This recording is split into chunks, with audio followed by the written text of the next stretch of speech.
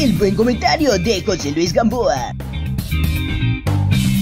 Buenas tardes, soy José Luis Gamboa para Júbilo Noticias y este es el buen comentario de este día.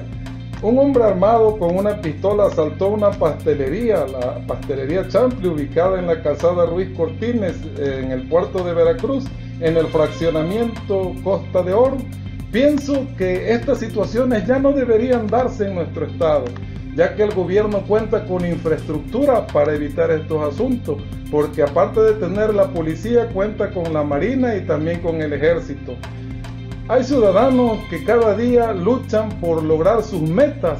Hay metas de comerciantes, metas de ciudadanos honrados que trabajan para incrementar eh, eh, su capital, para tener acceso a las cosas que ellos desean tener. Sin embargo, los amantes de lo ajeno ponen en jaque a esta sociedad veracruzana. Esto sigue aconteciendo cada día cuando ya no debería acontecer. A través de Júbilo Noticias enviamos este comentario al gobierno del estado pidiendo en el nombre de la ciudadanía que se tomen las medidas pertinentes y que se lleven a cabo las medidas oportunas para evitar que los amantes de lo ajeno sigan trayendo a la sociedad veracruzana inestabilidad e inseguridad. Es necesario que se encuentre una solución a todos estos problemas.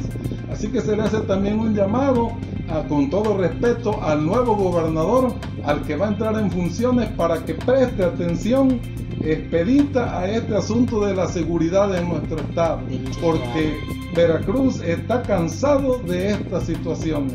Veracruz está cansado de la inseguridad.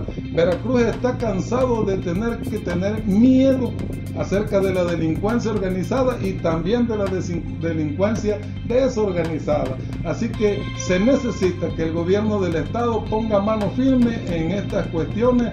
Para Júbilo Noticias informa José Luis Gamboa García. El bello pueblo de Chacaltianguis, lugar originario del mango, transmite Radio Júbilo, una estación afiliada a Hermanos Miranda García.